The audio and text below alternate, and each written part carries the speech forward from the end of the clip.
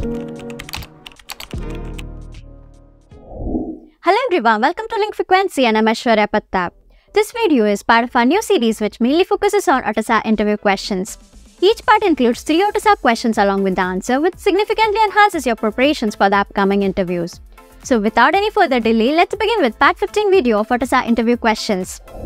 Alright, we are back to a screen where you can see AUTOSAR interview question part 15 along with the three questions represented on the screen. Without any further delay, let's begin with our first question which basically states Explain init runnable, periodic runnable and server runnable. Well, you can answer to this particular question in the following format. In AutoSAR, runnables are the basic units of execution within a software component. It has specific types such as init runnables, periodic runnables and server runnables. Let's look into each of them individually. The first one is init runnables. Init runnables are executed during the initialization phase of the system, typically when the system is powered on or a component is started. They are triggered by the AutoSAR runtime environment that is RTE at a predefined points in the system startup process.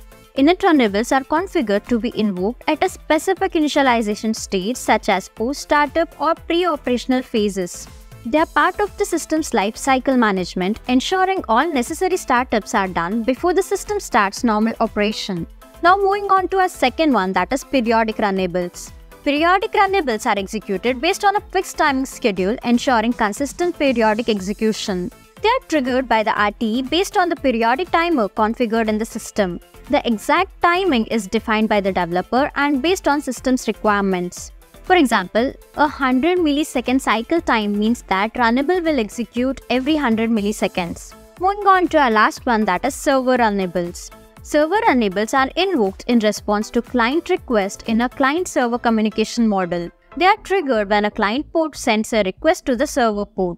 The operations provided by the server runnable are defined in the port interface and the runnable is linked to those operations. This kind of runnables allow for synchronous operation where the client waits for the server to complete the requested task and return a response.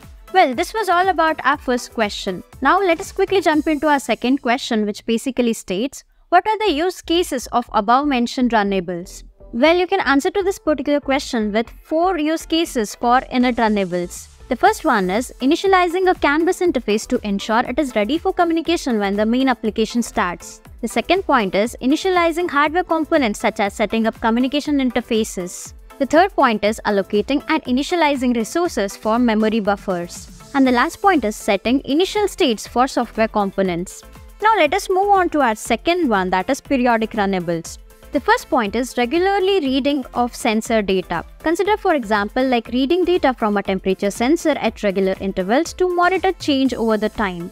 And the second point is periodic activation of control signals.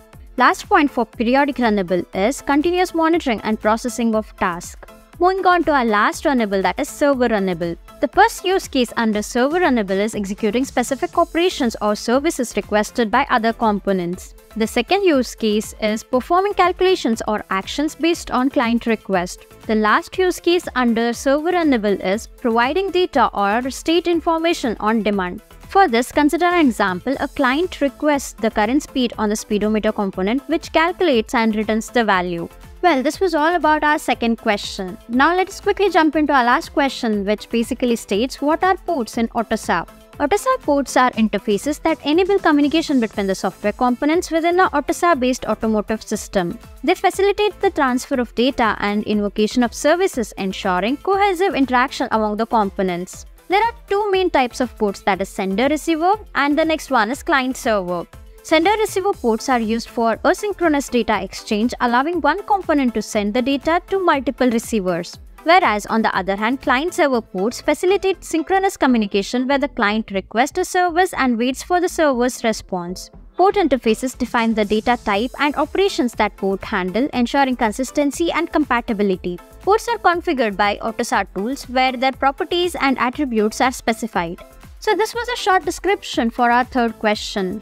If you want to know more about AutoSAR related topics, then you can surely check out our AutoSAR playlist on linked frequency. Well, this was part 15 video of AutoSAR interview question series. I hope you found the video insightful. For any queries, you can surely comment below in the comment section.